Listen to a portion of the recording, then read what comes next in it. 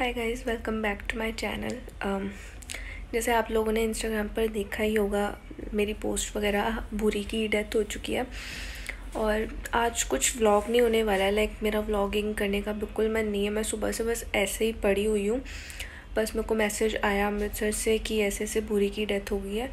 मतलब उसको कुछ हुआ नहीं था। वो अपनी एज के अकॉर्डिंग मतलब चली गई है। लाइक वो ट्वेल्व थर्टीन ईयर्स की थी। जैसे वहाँ के लोग बताते हैं कि हम लोग इतने साल से यहाँ रह रहे हैं और ये तब से है। तो उस अंदाज़े से हम लोगों ने लगाया कि मतलब वो ट्वेल्व थर्टीन ईयर्स से ज़्यादा की ही थी।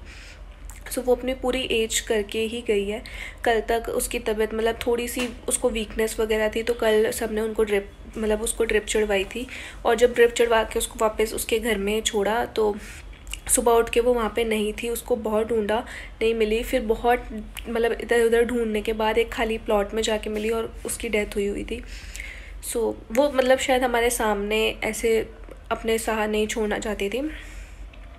तो उसने छुप के मतलब कहीं दूर जाके अपने प्राण जैसे जो भी कहते हैं। यार पता है जब हम लोग अमृतसर से जलंधर शिफ्ट हुए थे ना हमारा सबसे बड़ा जो हम लोग को लगता था ना कि यार, भूरी भूरी से दूर जा रहे हैं, क्योंकि सबसे ज़्यादा भूरी को ही हम लोग प्यार करते थे, सबसे ज़्यादा, वो सबसे ज़्यादा हमारी फेवरेट हुआ करती थी। और हमें यही था कि यार, पता नहीं कितने ईयर्स लग है, ये यहाँ नहीं है कि वो काफ़ी एज की पहले से ही थी। तो बस हम लोगों को यही होता था कि हम लोग उसके साथ ही रहे, उसके साथ ही रहे। इवन पता है इतना लड़ लड़के आती थी वो कहीं ना कहीं से और हम लोग हर दूसरे, तीसरे दिन उसको चोट लगी होती थी, हम उसको दवाइयाँ लगा रहे थे। तो वो इतनी ज़्यादा ब्रेव थी, इतनी ज़्यादा ब्रेव थी, बहुत लड़ती थी हम लोगों के लिए। और जब पता है पैरिची को हम लोग बाहर लेके जाते थे तो दो आगे, दो पीछे एज अ बॉडी गार्ड की तरह चलते थे, वो मतलब पूरा सेफ्टी का हमारा ध्यान रखते थे। इवन जब जतिन, जैसे जतिन का ऑफ़िस बहुत घर के पास ही है तो वो कभी कभार पैदल चल जाता था। तो जतिन को पता नहीं चलता था, वो हेडफोन लगा के चल रहा है और उसके पीछे पीछे बुरी पूरा उसके ऑफ़िस तक चली जाती थी और वापस आने से फिर डरती थी। फिर उसके ऑफ़िस के बाहर ही बैठ जाती थी। तो मतलब इतने इतने प्यार करते हैं ना ये और जब ये चले जाते हैं, इतना दुख होता है, इतना दुख होता है, वो एक्सप्रेस करना बहुत मुश्किल है कि इस वक्त क्या फ़ील हो रहा है, क्या नहीं हो रहा है, क्योंकि ये सबसे गंदा मोमेंट होता है। बहुत चोटें खा के आती थी वो बहुत ज़्यादा।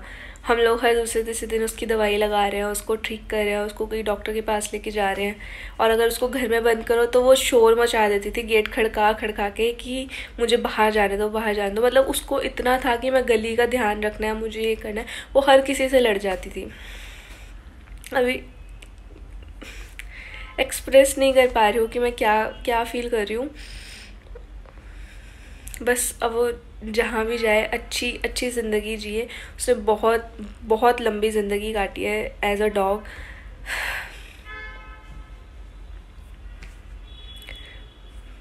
पता है सब सबसे गंदी चीज़ मुझे यही लगती है कि जब कोई डॉग ऐसे चला जाता है ना लाइक like, जो मेरा फ़र्स्ट डॉग था उसको डॉक्टर ने गलत इंजेक्शन दे दिया था वो भी ऐसे ही चली गई थी। फिर कोको स्ट्रीट डॉग जो था, उसको डिस्टेम्पर हो गया था। और उसको दोहरे पड़ते थे। मतलब उसको हमने कितना बचाने का ट्राई किया। वन वीक डॉक्टर ने उसको बोल दिया था कि प्लीज़ इसको इंजेक्शन लगवा दो। इसको मौत दे दो। लेकिन मतलब ये झेल नहीं पा रहा है, ये दर्द। बट हम लोग ने यही किया था कि नहीं, शायद ठीक हो जाए, शायद ठीक हो जाए। बट डॉक्टर ने कहा था नहीं होगा। और फोर्थ फिफ्थ डे वो ठीक भी होने स्टार्ट होना शुरू हो गया था। बट नेक्स्ट डे वो, उसकी डेथ भी मेरे हाथों में हुई थी। लाइक मैं उसके पास ही बैठी थी जब उसकी डेथ हुई थी। वो भी वो भी बहुत प्यारा था, बहुत प्यारा। रिची से इतना प्यार करता था ना। मतलब सारे डॉग्स इतने प्यारे होते हैं बट हम सबको अपने साथ हमेशा नहीं रख सकते हैं। वो किसी ना किसी दिन उन्होंने चले ही जाने।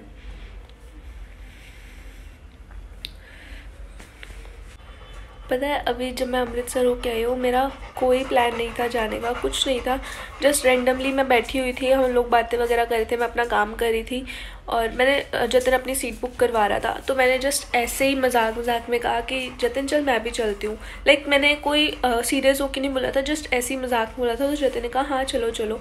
फिर मैं अपना काम में बिज़ी हो गई और मुझे नहीं पता अभिषेक ने मेरी भी सीट्स बुक करवा दी और मैं चली भी गई। लाइक शायद एक कनेक्शन था हम लोगों के बीच कि हाँ मैं ऐसे गई, मेरा कोई प्लान नहीं था, मेरा अचानक से प्लान बना, मैं गई उसके पास, उससे मिल के आई चार पाँच दिन रही उसके साथ, उसको वहाँ पे, उसके हाथ में चोट लगी थी उसको डॉक्टर को दिखाया लाइक शायद एक कनेक्शन था हमारा कि हाँ मैं उससे, वरना मुझे बहुत गिल्ट रहता कि अगर मुझे जैसे अभी न्यूज़ मिली और मैं उससे एक बार भी नहीं मिली लाइक कितना पहले की मिली हुई थी, मैंने उसको देखा तक नहीं था।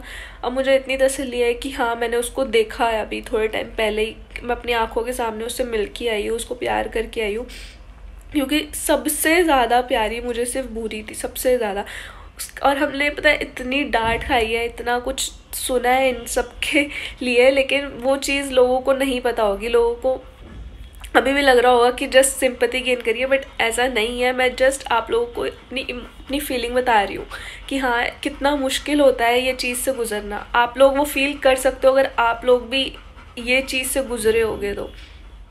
बस आई जस्ट वॉन्ट कि वो अब जहाँ पे भी जाए, अच्छे से रहे, उसको अच्छी ज़िंदगी मिले।